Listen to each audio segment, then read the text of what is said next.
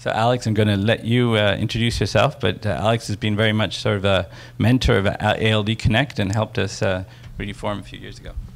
Thank you. Good morning. Uh, actually, I think Florian covered everything, so there's no need for my talk. Uh,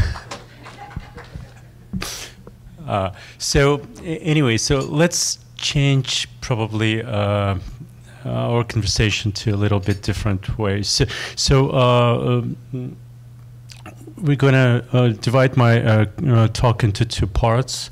I will be talking about more general things like big data, and then Justin here will be talking about patient's perspective on the big data and how we can increase this.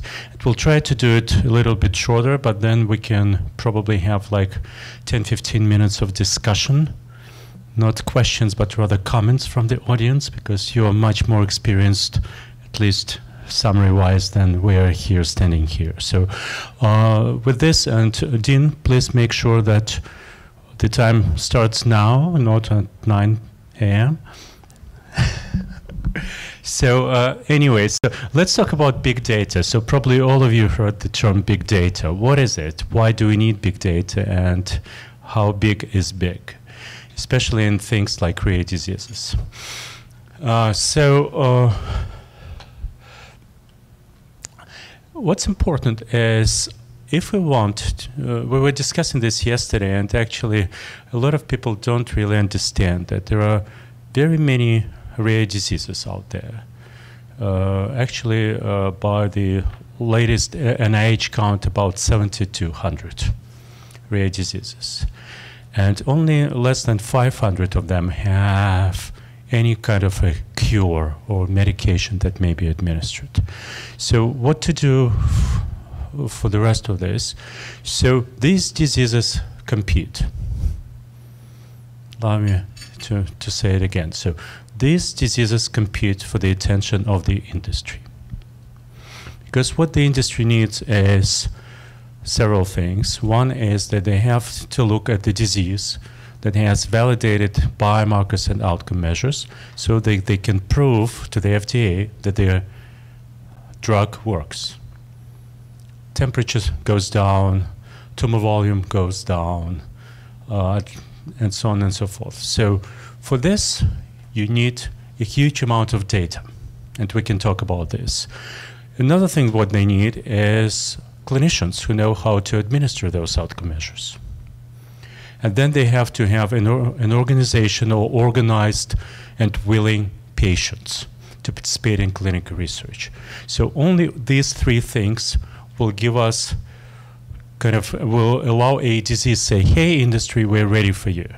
So we are right now in this process where from coming from almost nowhere or as you saw three years or four years later, not necessarily because of this organization, but because of the awareness of uh, rare diseases community and the awareness of the patients community. We're much better now, and as Florian was showing us, industry advisory council people. So there are 10, 13, 14, 15 companies coming to our advisory council advising us what would they need from us, us as a community, for them to move forward and invest into this particular disease. Okay, so with this, we need big data. Two things. A, we need to know who have this disease. Basically, how do we identify patients?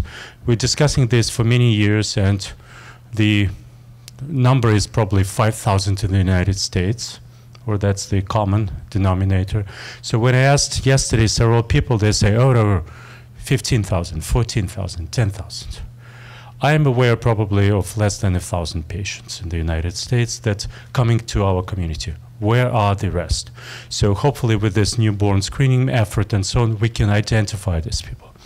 The next thing is knowing who these patients are, how can we extract extract data from them, information from them, that we can merge this information together, understand the disease, understand the uh, subpopulations of this disease, understand the needs, and then say, again, industry, we're ready for you. Answer either cure the disease or address the symptoms.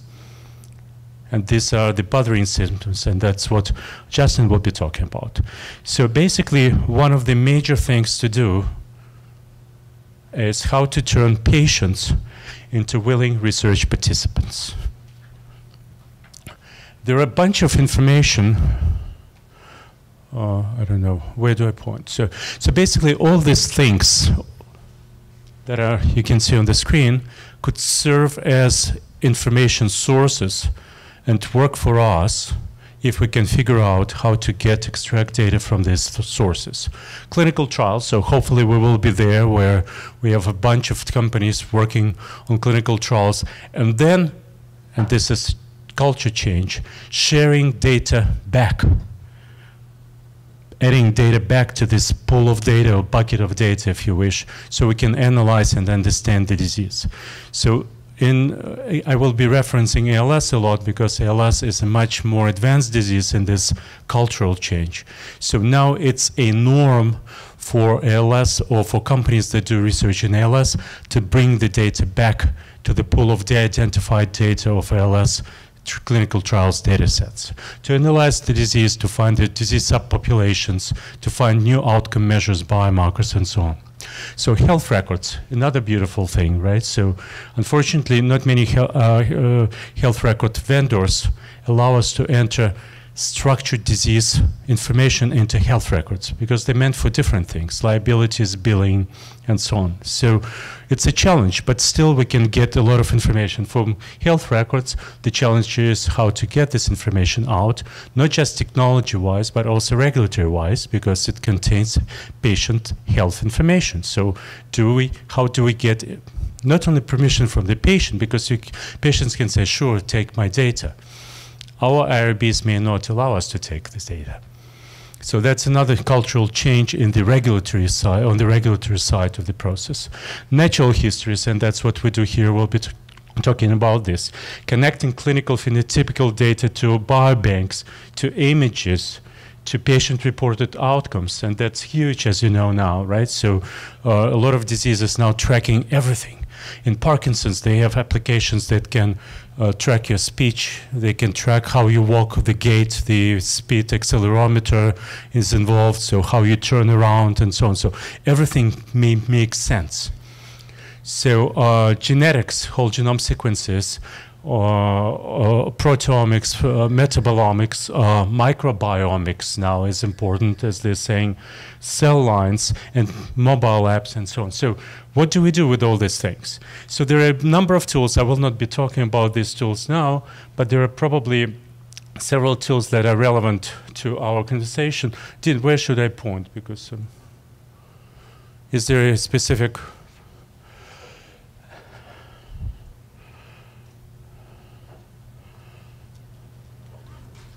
Yeah.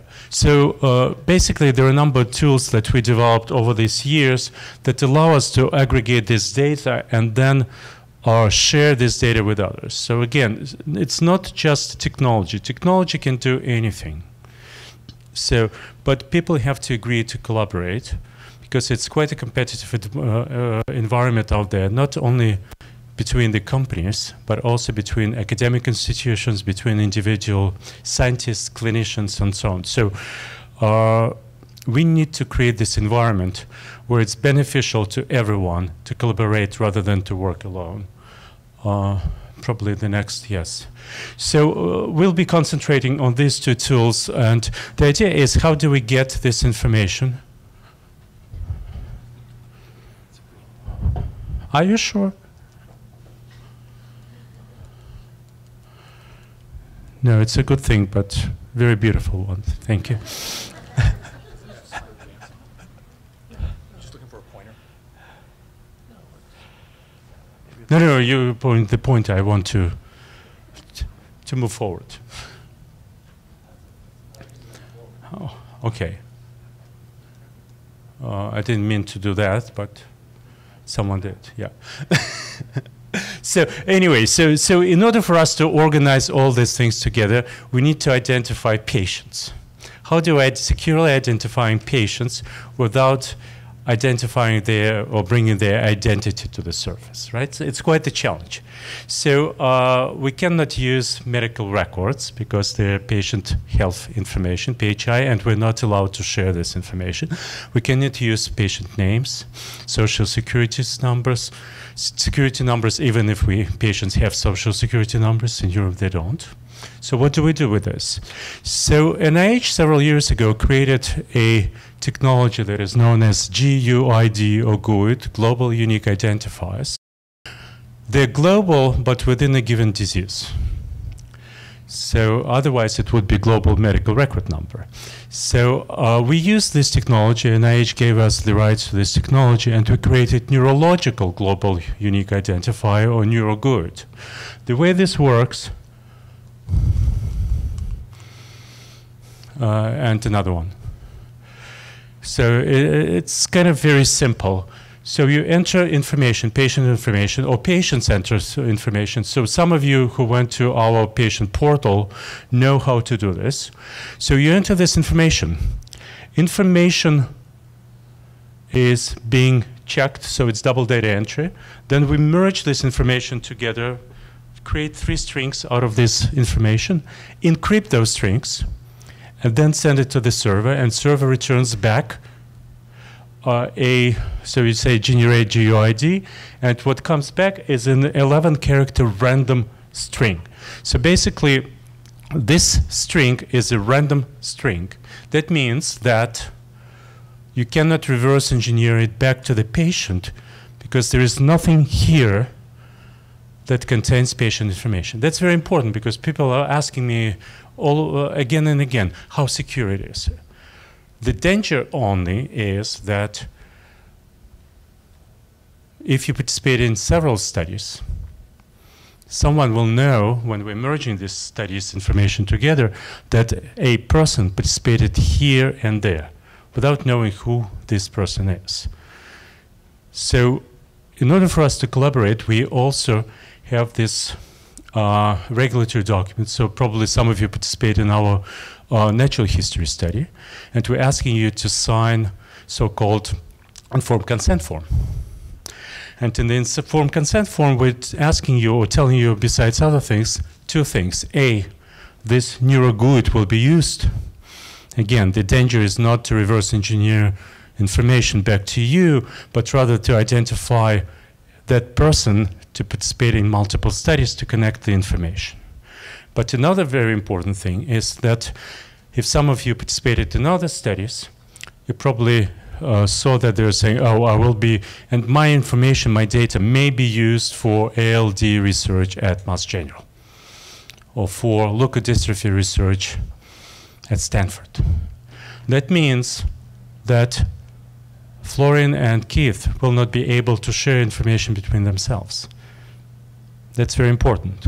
So what we're putting now there is one single paragraph that says, my information will be used, not may be used, but will be used for any medical research purpose.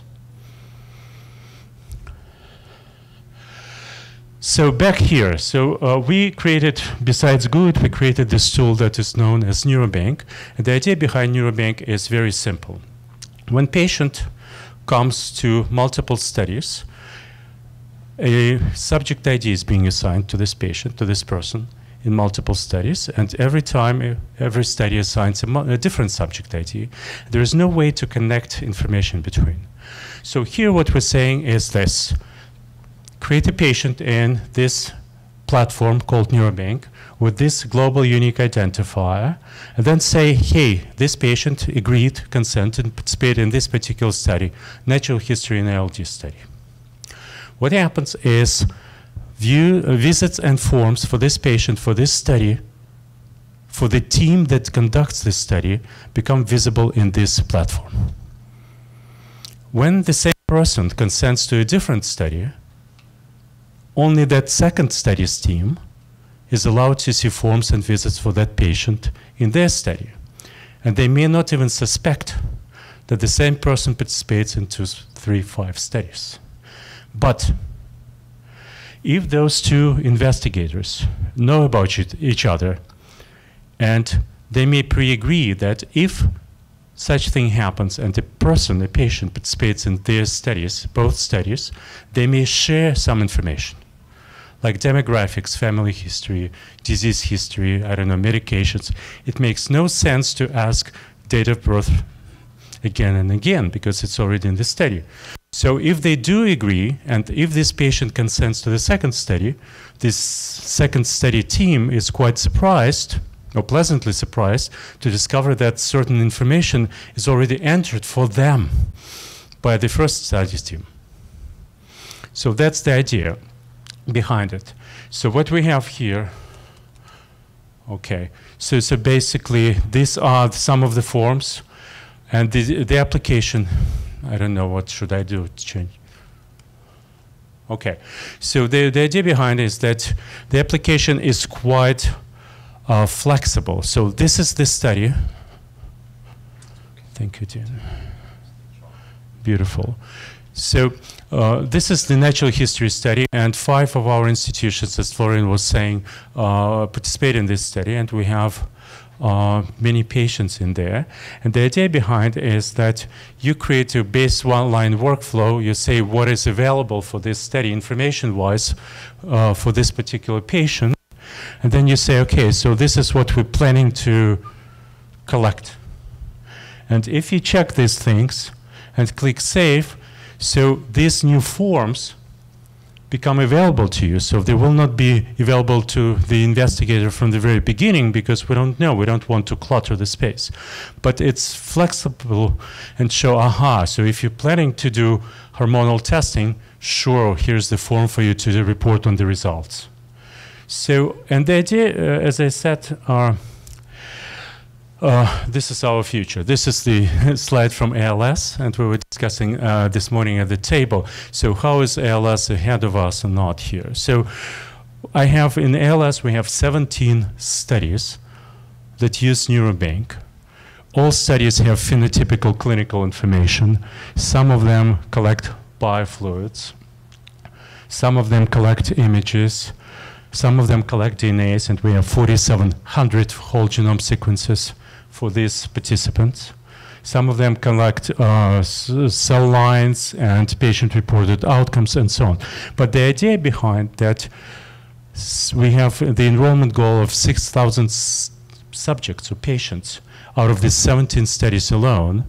And the goal actually in three years to have 36 studies in this neurobank for ALS alone. And some of these patients may participate in multiple studies.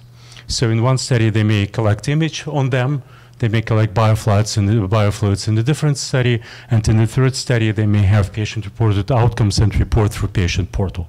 But the idea is that from clinical perspective, or from the researcher's perspective, it's a commitment on their part as well. And the commit commitment is as follows. We provide this platform to them with one condition that after they enjoy using this platform and enter data for their patients and close their study and analyze and publish, the data will be swept automatically and added to this bucket of de-identified data from multiple studies. And anyone in the world who wants to dig into this data, who cares about this disease, will be able to reach this data and analyze, download and analyze.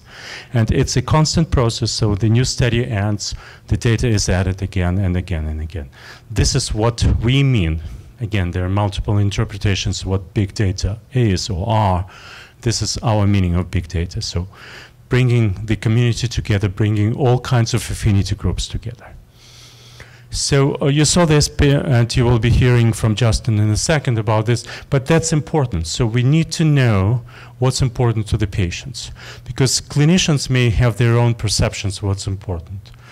So we're asking to join, but another important thing is that to ask what bothers you guys, right? And we know that different things, and Justin has these numbers, I don't want to emphasize it in my talk, but we also came up with this neuro tracker. And one of the things we're asking and will be asking is how to fine tune this tool. This is a tool, but we don't know how granular these answers are or how meaningful they are. Because these tools were, I mean, developed in the lab, if you wish, but not in the, uh, as a dialogue. So we need a dialogue on this. So the application actually now allows you to do, uh, anyone participates in patients like me by any chance? So basically what you can do now is not only to track your performance over or your answers over longitudinally over years or months, but also you can compare your answers to the crowd, to people who participate in this. So it's, I don't know whether how important it is because uh, it's, you know, population is quite heterogeneous, but at least we're trying to figure out how useful this information is. We do know it's useful for us on the back end, on the big data side, but we need input from the patients to understand how useful it is to the patients, right? So, and meaningful to the patients, because otherwise, you know, it's our perception what's in there.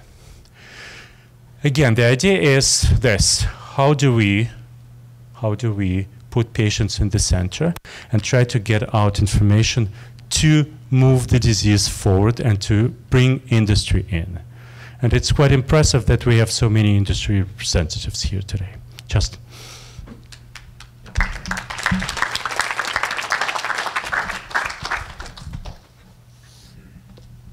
Thank you, Alex. Does this thing work? Do we know? Which way do I? Great. Okay, so I, have been asked to just kind of uh, give what we're calling the patient perspective on uh, the neuro tracker. And so a little bit about me as a patient. Uh, my, first off, my name is Justin D'Agostino. I'm a 32 year old man. I have AMN uh, and ALD. It's all one thing. I like to just say I'm an ALD man. Um, I was diagnosed with AMN when I was 23 years old, so about a decade ago, and it was a year after my brother was diagnosed. Um, and my brother had sort of rapid onset of cerebral ALD in his late teens, and he passed away in 2010. And uh, I, for a number of years through my 20s, kind of lived in denial and said, you know, I don't have it. It's never going to happen to me. And then, of course, you know, it began to happen. And so in the last several years, I have um, just dedicated myself to the ALD community. Um, I'm now a board member and patient liaison with the Myelin Project, and I love interacting and interfacing with patients, men and women, talking about their experiences. So the Neuro Tracker is kind of an extra layer, it's an extra dimension to understanding the experiences of people dealing with this disease. And uh, there's a cool function that's been recently added where you can kind of compare yourself to the crowd. Some people might like that, some people might not. I think it's kind of cool. Um, a quick, you know, uh, things about me with regards to the neuro tracker and you know who I am. I'm definitely kind of a data nerd. I love understanding information. I wish I would have implemented something like this in my life years ago five, six years ago where I was tracking myself, tracking my abilities. I recently started uh, a run test, uh, and I'm not a very good, I can't really run that well anymore, but I can kind of trot along. It's, and, and uh, my girlfriend times me in a 50 yard dash. And I've been doing it for the last three months, and my times have been stable, um, but they're not very good times. Um, and, and I also do things like I have this. Um, uh, it's uh, a, just kind of a workout. Um, it's called a. am um, totally spacing on the name, but it's it's uh, it's a little workout machine. I do these squats, and I I you know I kind of track myself and my ability to do you know how many squats can I do, and when I get up to like 30, can I do 30 really well, or does 30 you know take like extra effort at the end? So I, I track myself. So the Neuro Tracker is kind of an extension of this. So let me just kind of talk through um, so we're up to the neurobank side is 155 patients, but on the patient portal neurotracker side, we have 370. Actually, I think it's up to 376 now. Yeah, um, I, was the old one. I didn't really update, but we're, I think we're up to 376. Uh, 226 or a little bit more self-reporting. Then the rest are from caregivers and children. And so that's a good number, but we want to increase that number. There's there's quite a few more out there. So we want to recruit, we want to promote this, we want to get as many people as possible um, a part of this. and then we have this kind of what matters to me that uh, Alex briefly showed you guys of, you know, um, wh- what does the community care about? And uh, yes. Sorry, just on the slide before. Yeah. Oh, sorry, uh.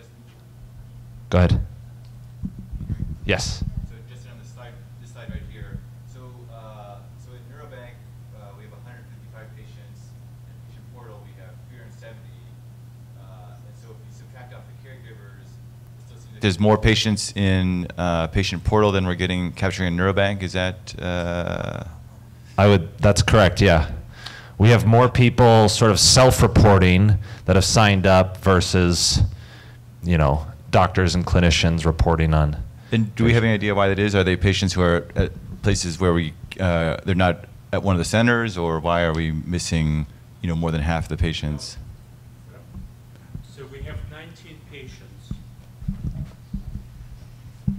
19. We have 19 patients that participate in both neurobank clinical study, natural history study, and in patient portal.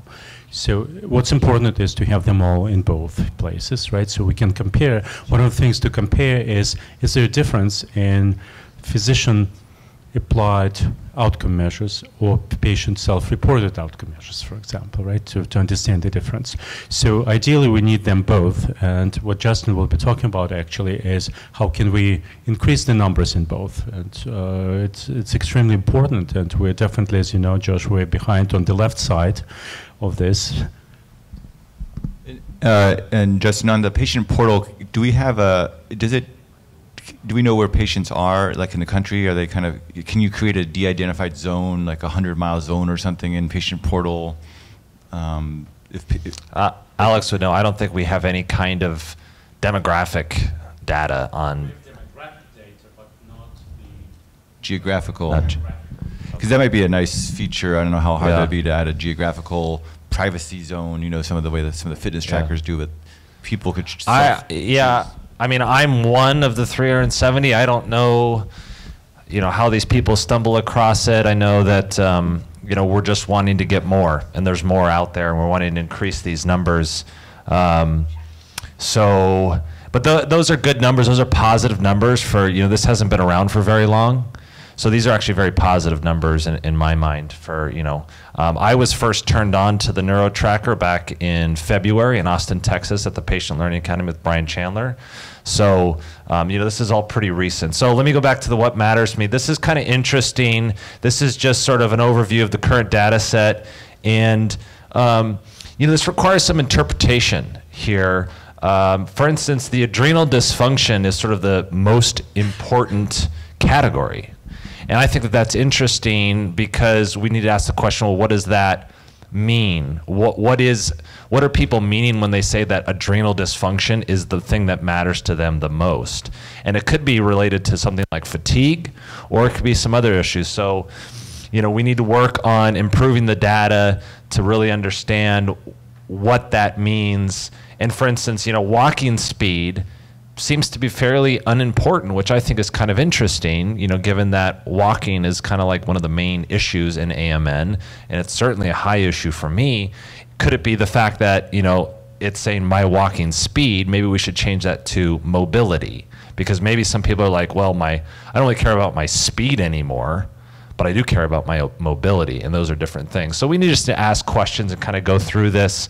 And um, you know, I just want to say, you know, I'm I'm so grateful that Dr. Eichler and the ALD Connect team has sort of invited me to kind of start thinking through this and I've kind of assembled a little bit of a work group or task force to begin, you know, patient specifically kind of analyzing each question, trying to figure out what's the best way to capture the data so here you can i don't know if you guys can read that very well but um, these are just kind of some of the um, questions for the children uh, things like bowel and bladder seizures language digestion movements vision sleep spasms hearing. And we have, you, that you can select sort of different what we're calling increments symptomental symptom, symptoms and the increments of those symptoms. And then it's kind of the same for here's adults sleep independence um, and so, you know, kind of moving through each question, trying to figure out, well, what's the best way to determine or figure out what a person's experience in this specific category. And um, so I'm going to talk about just real quick, and I'll just, this will be my, my talk for today, but just what I'm calling the challenges um, to the NeuroTracker. And I just want to first say, you know, I've, I've put a team together of, patients. Um, female Jana is back there. She's, uh, she's come on board. And, and, you know, so we have some patients involved, but, you know, it'd also be good to have doctors, their insight, and that sort of thing. And uh, just to kind of keep chipping away and contributing um, to this. Um, okay, so you know the question of what are the increments of symptoms. So when I think about my life and I think about something like walking, you know, what have what are the increments? What are the what are the distinct increments? Because I can say, you know, it's declined over the years. It's gotten worse. Where was I at three years ago versus where I am now? And you know, one of the problems is the way that the the question of the NeuroTracker currently is, is there's a category that says, I generally walk well. Well, I would say that was true three years ago, and I would still say that's true of me today. I can kind of walk pretty good and fine. But I would say in the last three years, my walking ability has significantly declined. But I would answer that question the same exact way. So the NeuroTracker, I think, needs, like we say, granularity or nuance. So something like this, you know, some symptoms might have four, five, or six distinct increments, whereas another symptom might only have three or four. So we need to kind of look at that and kind of determine from a clinical perspective, from a patient perspective, what, how does this symptom move along, right? And then the next category, uh, and so for instance, like under the mood category, right now, the first, first option is I'm a happy person. Okay? You know, that can be interpreted in a variety of ways. And then it moves from I am a happy person to I have extreme mood swings.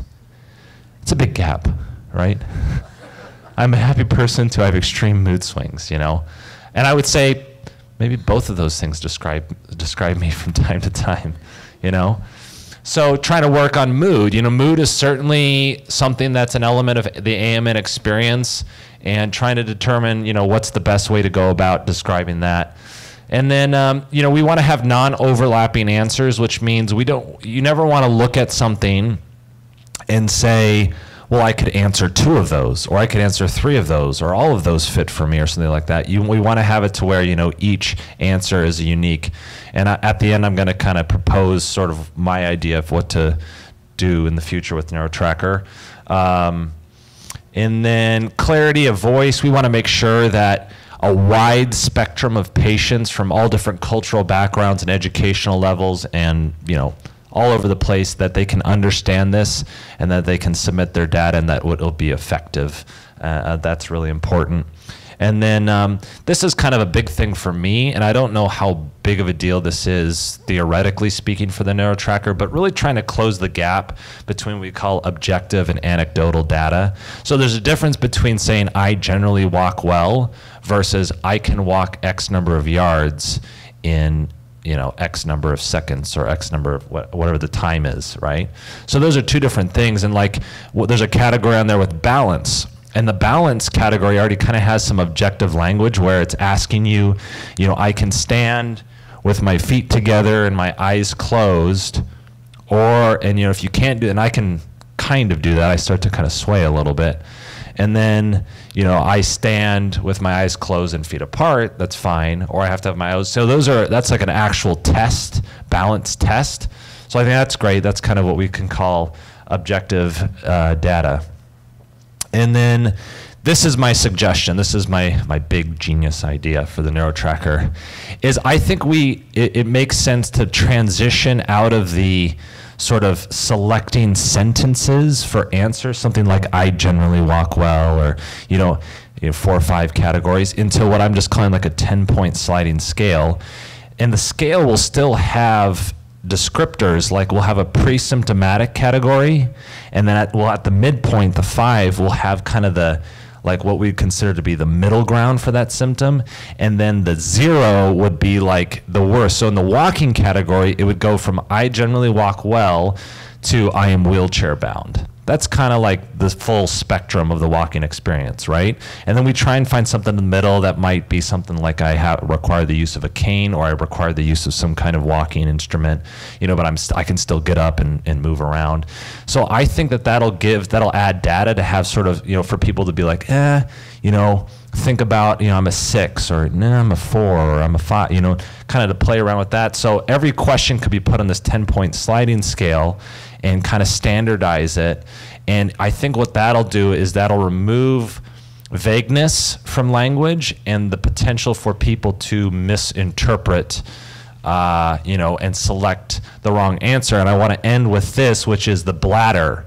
This is the way the bladder is currently structured. And bladder for me has been like one of the number one concerns. I would say the bladder was sort of the first symptom I began that began appearing in my life around the ages of probably 25, 26. I just started noticing urgency and hesitancy. I was like, this is what the heck's going on with me, you know?